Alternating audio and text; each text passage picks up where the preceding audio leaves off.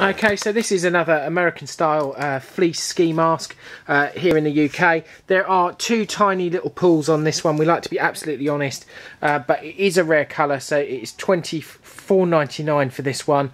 Um, as I say, very very hard to get in the lighter colours, but this is kind of a creamy oak colour uh, with a kind of cream face, ideal sort of a winter camouflage. Um, and this particular one, as I say, is in the cream and corn finish. Um, and as I say, really nice mask. Um, very, very tough to find in the UK, um, but available right here on Master.